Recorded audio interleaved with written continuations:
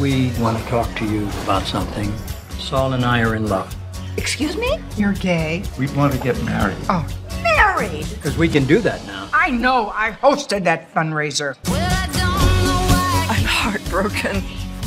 You're gonna make better memories, and you can reuse the frames.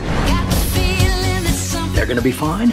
We're going to be fine. I'm so scared. Mom, we're gonna find you people to talk to. People who understand exactly what you're going through. There's a group for wives of husbands who've turned gay in their 70s.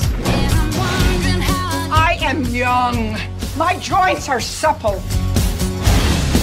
Yes, Robert is my law partner, but we are also homosexual law and bed partners with each other in life.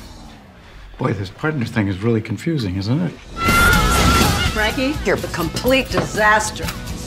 Did you do realize I have a knife in my hand. I don't want to face my remaining years alone. I'm just like you, but with a better personality. Certainly bigger. Break down your emotions for me.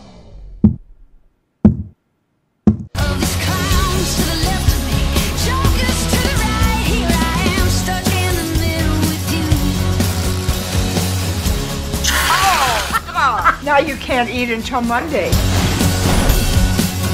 You have to operate? I've never had surgery. Not ever? Like, say, up around here?